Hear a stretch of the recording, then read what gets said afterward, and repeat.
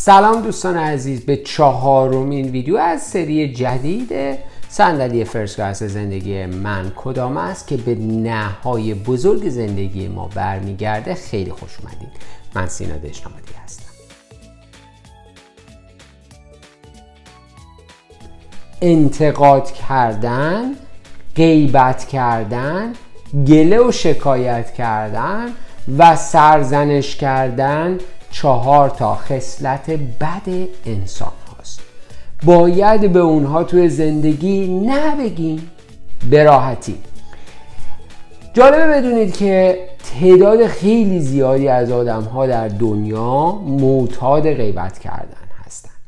وقتی که جمعیت دنیا کم بوده خب طبیعتا فرصت غیبت کردن به تعداد آدم هایی که در هر شهری روستایی نمی‌دونم کشوری بوده خیلی کم بوده. حالا با جمعیت 7 میلیارد خورده ای که در دنیا وجود داره و فضای مجازی و دنیای سوشال مدیا این فرصت برای غیبت کردن بسیار مهیاتره و وقت خیلی زیادی از آدم ها می‌بره که غیبت هم دیگر رو بکنن. دیدیم که اکثر آدم ها با غیبت کردن هیجان زده میشن. چشماشون باز میشه رنگ چهرهشون عوض میشه ضربان قلبشون زیاد میشه.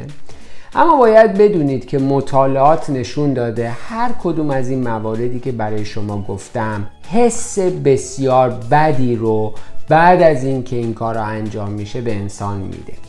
ببینید انرژی رو که شما از به واسطه اتفاقاتی که انجام میشه رفتارهایی که از خودتون بروز میدین ایجاد میشه اون انرژی متفاوته. شما اگر یه کار خیر انجام بدین یه کار خوب انجام بدید به کسی کمک بکنید یا آموزش خوب به کسی بدین زندگی یک نفر رو تغییر مثبت بدین حسی رو که بعد از اون می‌گیرید حس مثبتیه.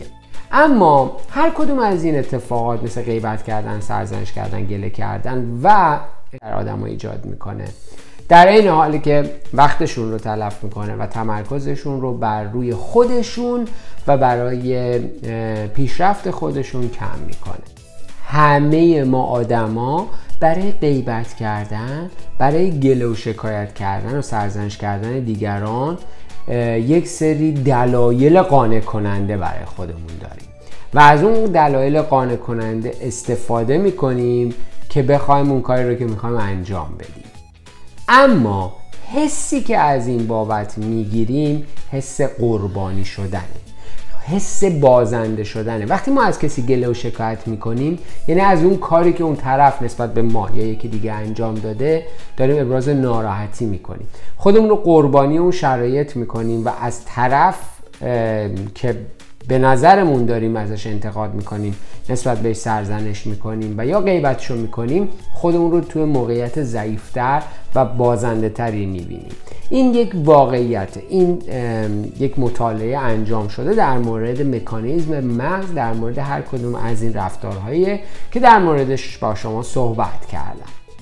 اگر ما وقتی که بابت هر کدوم از اینها می‌گذاریم برای هدف گذاری توی زندگیمون برای برنامه ریزی برای اجرای رویاهامون و اهدافمون رو و ایده هامون توی زندگی به کار ببریم مطمئن باشید وقت بسیار بسیار زیادی رو در طول روز به دست خواهیم آورد که اینها به ما کمک می‌کنن توی زندگیمون پیشرفت بکنیم و به موفقیت نزدیکتر بشیم. این سخنان بزرگان در مورد این مسائل رو جدی بگیرین غیر از اینکه بعد از سالها حالا یک یک پشتیبانی علمی هم در مورد اینها وجود داره که می‌تونید ازش استفاده بکنید. هیجان زده نشید ازش دوری کنید نه بزرگ به همه اینها بگید. تا ویدیوی بعدی اشتراک یادتون نره حتما ما رو به دوستاتون معرفی بفرمایید. مرسی خدا نگهدار.